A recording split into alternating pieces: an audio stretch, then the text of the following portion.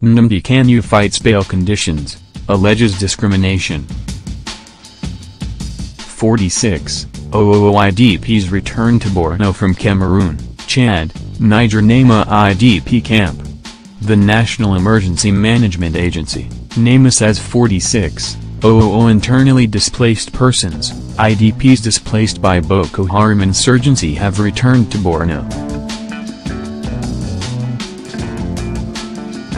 Mustafa Mai the Director General of NEMA, made this known while distributing relief materials to the displaced persons in Banki, Bama Local Government Council of Borno.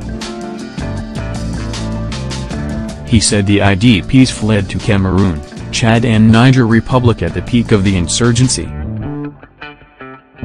Mr. Maihaja said thousands of Nigerians who fled their homes in Banki in the wake of insurgents attacks had returned, following the success recorded in the counterinsurgency campaign.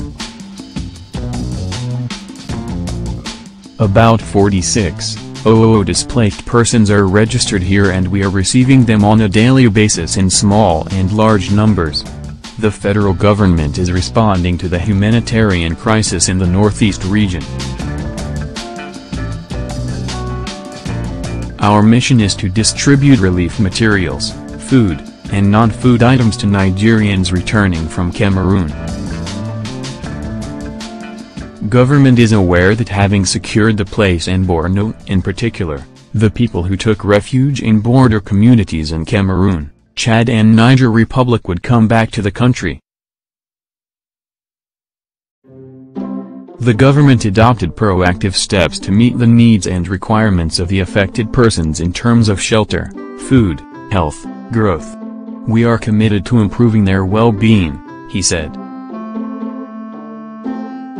Mr. Maihaja explained that the agency was responding promptly to the immediate needs of the returnees and distributed food items, mattresses, clothing materials and mosquito-treated nets. He noted that the agency provides 8.4 kilograms of food items every month per household. Mr. Maihaja also said the agency had adopted effective modalities to provide schools and clinics in the camps to enable the affected children to return to school, enhance hygiene and healthcare service delivery. The director disclosed that the federal government has begun the distribution of 40, 905 tons of assorted food items to displaced persons in Adamawa, Bauchi, Borno, Taraba and Yobe states. According to him, the agency had initiated a comprehensive tracking system to monitor vehicular movement and distribution of relief materials to guard against diversion. Mr. Maihaja added that the agency had embarked on enumeration exercise of IDPs and door-to-door -door distribution exercise to ensure that the affected families get the relief materials.